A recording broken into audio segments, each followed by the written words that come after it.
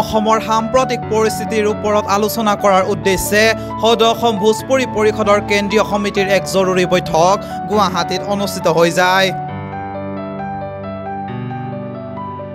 উক্ত বৈঠকত কেইবাটাও গুৰুত্বপূৰ্ণ সিদ্ধান্ত গ্ৰহণ কৰা হয় য'ত অসমত বসবাস কৰা ভোজপুৰী লোকসকলৰ নিৰাপত্তা নিশ্চিত কৰাৰ লগতে বিভিন্ন দল সংগঠনৰ লগত মিলি ৰাজ্যখনৰ সৰ্বাংগীন উন্নয়নৰ ক্ষেত্ৰত একেলগে কাম কৰি যোৱাৰ এক গুৰুত্বপূৰ্ণ সিদ্ধান্ত গ্ৰহণ কৰে।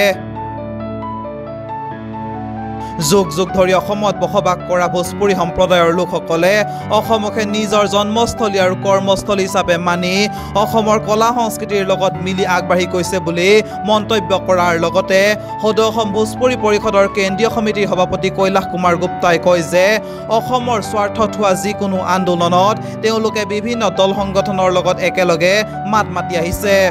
লগতে পৰিষদে কেন্দ্ৰীয়ভাৱে বিভিন্ন কাৰ্যসূচী গ্ৰহণ কৰি অসমীয়া সংস্কৃতি আগুৱাই লৈ যোৱাৰ দৰে এক গুৰুত্বপূৰ্ণ ভূমিকা পালন কৰি আহিছে। ভোজপুৰী পৰিষদে আয়োজন কৰা বিহু নাচৰ কৰ্মশালাত ভোজপুৰী পৰিষদৰ সহস্ৰাধিক কিশোৰ কিশোৰীয়ে বিহু নাচ ঢোল বাদনৰ প্ৰশিক্ষণ গ্ৰহণ কৰাৰ লগতে অনুষ্ঠানত জাতীয় সংগীত পৰিৱেশনৰ পৰম্পৰা অক্ষুণ্ণ ৰাখিছে। এনে ক্ষেত্ৰত যদি ভোজপুৰী সম্প্ৰদায়ক বিভিন্ন সময়ত আক্ৰমণৰ লক্ষ্য কৰি বহিৰাগত বা অনা অসমীয়া শব্দৰ প্ৰয়োগ কৰিলে আমি দুখ অনুভৱ কৰোঁ বুলিও মন্তব্য কৰে অধ্যক্ষগৰাকীয়ে।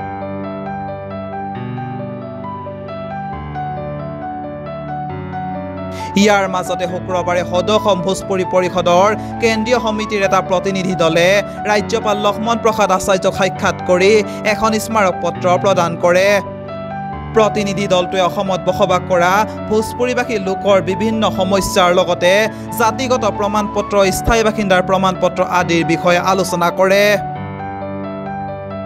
ইয়াৰ উপৰি অসমৰ আৰক্ষী সঞ্চালক প্ৰধান জি পি সিঙক এক স্মাৰক পত্ৰ প্ৰদানেৰে বিবাহকে ধৰি বিভিন্ন সাংস্কৃতিক কাৰ্যসূচী যেনে ৰোড শ্ব' বলবম মূৰ্তি বিসৰ্জন আদিত অশ্লীল গীতৰ ডি জে বজোৱাৰ ওপৰত নিষেধাজ্ঞা আৰোপ কৰাৰ লগতে নিয়ম উলংঘাকাৰীৰ বিৰুদ্ধে কঠোৰ ব্যৱস্থা গ্ৰহণৰ আহ্বান জনাই কয় যে অসমৰ প্ৰত্যেক আৰক্ষী চকীত এক নিৰ্দেশনা জাৰি কৰিব লাগে যাতে এনে ডি জেসমূহৰ অনুমতি দিয়া নহয়।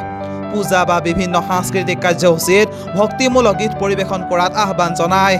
কাৰণ ডিজেত বিভিন্ন ভাষা ভাষীৰ লোকে ভোজপুৰী গীত বজাই নৃত্য পৰিৱেশন কৰে যদিও কেৱল ভোজপুৰী সম্প্ৰদায়ক দোষী সজোৱা হয়। উল্লেখ্য যে কেন্দ্ৰীয় সমিতিৰ সভাপতি কৈলাশ কুমাৰ গুপ্তাৰ নেতৃত্বত যোৱা প্ৰতিনিধি দলটোত কেন্দ্ৰীয় সমিতিৰ সাধাৰণ সম্পাদক দিলীপ চৌহান কাৰ্যকৰী সভাপতি সুবোধ ঠাকুৰ সাংগঠনিক সচিব ত্ৰিলোক কুমাৰ গুপ্তা সঞ্জয় সিং ক্ৰীড়া সচিব সুৰেশ যাদৱৰ লগতে কাৰ্বি আংলং জিলা সমিতিৰ সভাপতি গণেশ পাছোৱান উপস্থিত থাকে।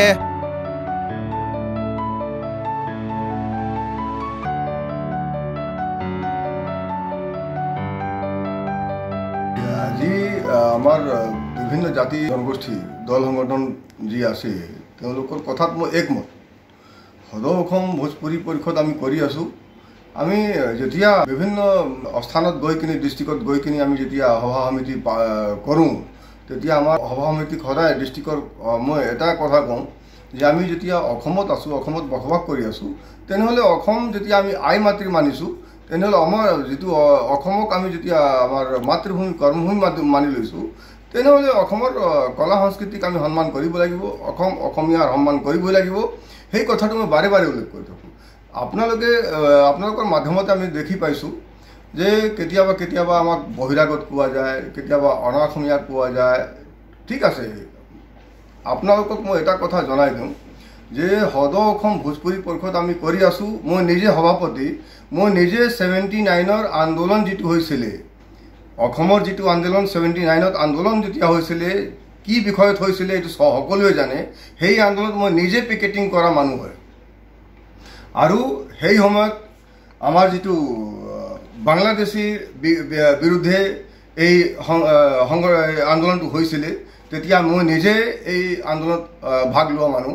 যেতিয়া কা আন্দোলন হৈছিল তেতিয়া মই নিজে জাতীয়তাবাদী বা ছাত্ৰ পৰিষদৰ নেতৃত্বত মই কিমান জেগাত মই নিজে ভাষণ দি আছোঁ দিছোঁ আমি নিজে তাত থিয় আছোঁ।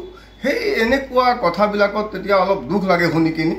মই আমি অসমৰ যিটো আমাৰ কলা সংস্কৃতি সেইটো আমি নিজে সন্মান জনাওঁ।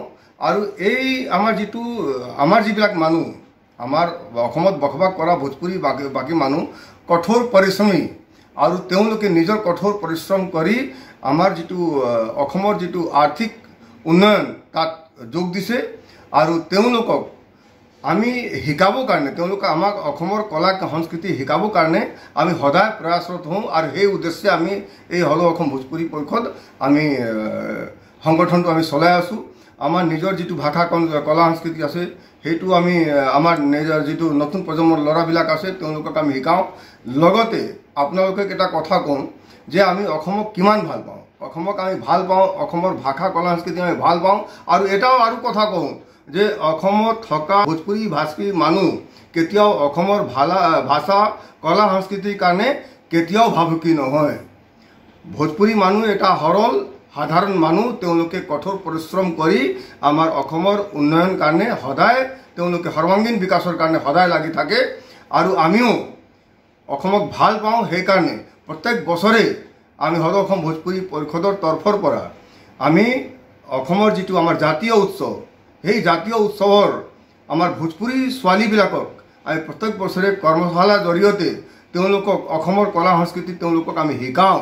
প্ৰশিক্ষণ দিওঁ বিহু নাচৰ প্ৰশিক্ষণ দিওঁ। এতিয়া আমাৰ এতিয়া পালন কৰোঁ বিহু। এতিয়া আমাৰ ভোজপুৰী ছোৱালীবিলাকে এই বিহু মঞ্চত তেওঁলোকে বিহু নাচ কৰে। বহিৰাগত আমি যেতিয়া আমাৰ আমালোকক কয় তেতিয়া আমালোকক দুখ পাওঁ। কেলৈ যে আপোনালোকক জনাওঁ এটা কথা কিছুমান আমাৰ অসমত থকা এনেকুৱা মানুহ আছে যিবিলাকে উত্তৰ প্ৰদেশ বিহাৰ পৰা কেতিয়া আহিছে ক'ৰ পৰা আহিছে তেওঁলোকে নিজে জানে। আমাৰ যদি আপোনালোকে ডিমত গৈ চাওক বিশ্বনাথ চাৰিআলিত গৈ চাওক তেওঁলোকে ক'ৰ পৰা আহিছে সেইটোও নাজানে আৰু তেওঁলোকে অসমীয়া মাধ্যমত পঢ়ে। আৰু তেওঁলোকে নিজৰ ঘৰতো তেওঁলোকে ভোজপুৰী কথা নেপাতে অসমীয়া কথা পাতে।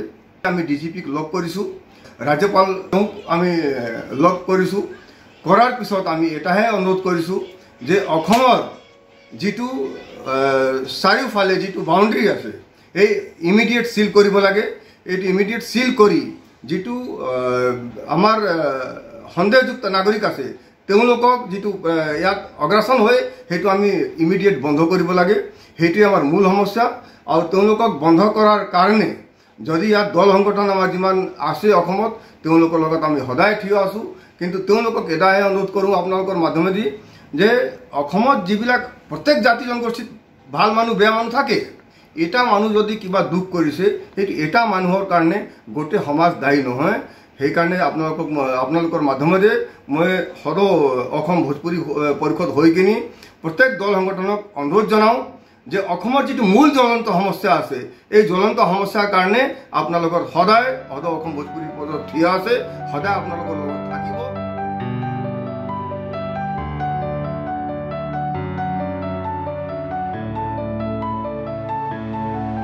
News X report news তালব Assam north east